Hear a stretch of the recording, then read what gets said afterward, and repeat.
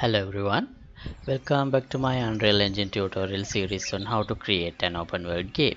So today what I'm going to do is actually I got a few complaints that I haven't covered the attack move function uh, in the tutorial series. So I thought I would, uh, this is a quick video, I will show you how did I implement that part and right. So first I'll show the attack move function so it's like this. When I attack as you can see here this character moves a little bit forward like this. So I'll show you how did I implement it. First let me open my character right? So here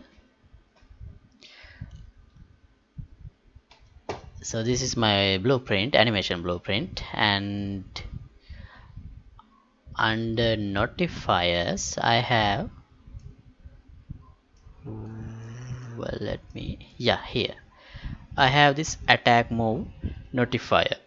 Let me show you one animation that I am using that attack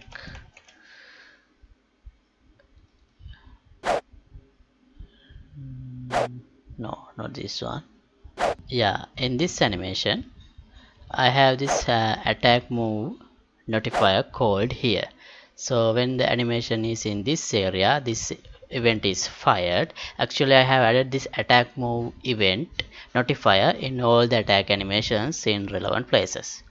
So that fires this animation event notify event and this one calls using the BPI character interface uh, and this reference which I have created uh, this attack move function. So here is the interface.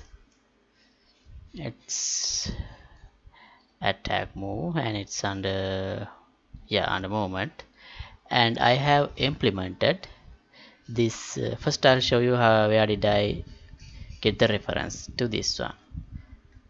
It's here. It's uh, under the begin play I cast get the pawn owner and cast it to a character. And yeah.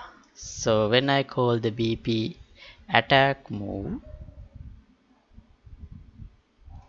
here so I'll open my ch human character and I'll show the attack move event. So this one. So this is the attack move event. And here what I am doing is I uh, add an impulse to this capsule component. Uh, sorry uh, to this uh, character movement component. And I'm adding that impulse in the forward direction of my capsule. It's uh, this is all actually that's all. So when I call this event due to the impulse that I add here and impulse magnitude is you can define it when you call this event. And I add the impulse and also I add a camera shake event as well. So I play this camera shake event so that there will be a little bit of a shake to emphasize the moment. And that's all so I hope that would be clear and I'm sorry for missing this part. So this is how it works in action. Alright. So that's all for this episode. This is as I said this is a quick episode. And let me know if you have any questions. And right see you in the next episode. Goodbye